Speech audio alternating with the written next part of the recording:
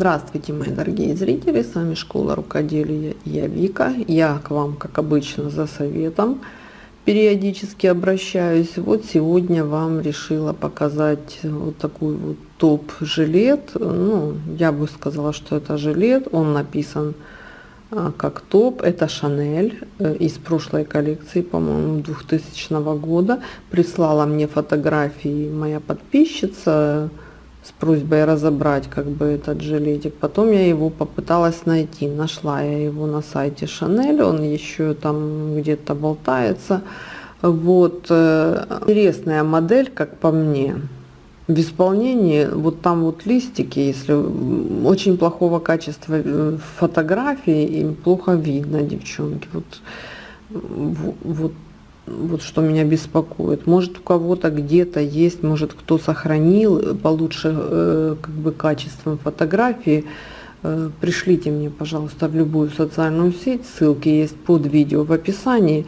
Э, пришлите, чтобы получше рассмотреть. Что вижу я, да, там лепесточки, там веточка, которая потом уже привязана крючком, либо при, пришита, но я бы так предположила, что привязана крючком цепочкой. Технику эту я вам покажу, кто не знает, если все-таки проголосуете за этот топ-жилет.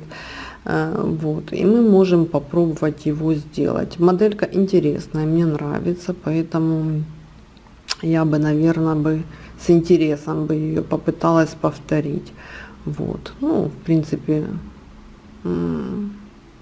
все зависит только от вас, вы это знаете. По поводу того, что я сейчас делаю, я делаю вот этот Брунелло Кучинелли жилет, который мы хотели с отстегиваемся рукавами. Еще думаю, делать ли его или делать жилет или все-таки делать рукавчики отстегивающиеся. Ну, в общем, он у меня скоро будет на канале, так что ждите, буквально пару дней и он будет, он уже на завершающей стадии. Вот, и кардиган свяжу мини-версию. Вот. А потом уже, если что, вот этот вот жилет, если, если вам он понравится. Мне нравится, вот интересная вещь такая, тем более сейчас, хотя говорят, э, не договорила мысль, тем более сейчас как бы пока еще модно, э, ну, до талии высокая посадка брюк. Вот видите, он хорошо смотрится именно с такой посадкой. Вот, хотя говорят, уже я слышала, что опять будет модная вот эта низкая посадка, э, куски тела боков наружу. Вот, поэтому не знаю. Пока есть возможность поносить высокие брюки, давайте свяжем такой топик-жилетик. Ну, я думаю, он пригодится нам. Да я так думаю, что он нам лишним не будет. Тем более моделька интересная, вижу там и шишечки, вот не пойму, очень плохо видно, не пойму, как сделаны шишечки, либо они просто из цепочки как бы закручены, либо они, ну вот, вот здесь э, как бы э, на некоторых местах мне как бы видится, что эта цепочка такая закрученная.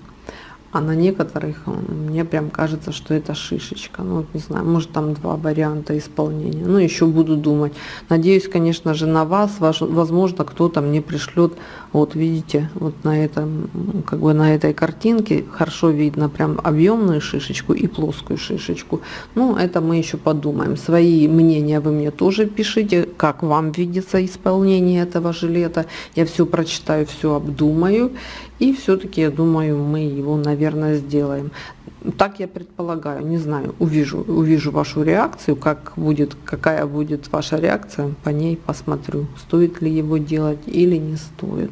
Вот, девчонки, это из наших ближайших как бы планов. А что касается шапок, шарфов, уже скоро начнется сезон. Девчонки, присылайте мне в Инстаграм идейки, вот что бы вы хотели, допустим, да, а мастер-класса на эту модельку нет. Присылайте, будем разбирать, будем вязать, вот, будем одеваться на зиму.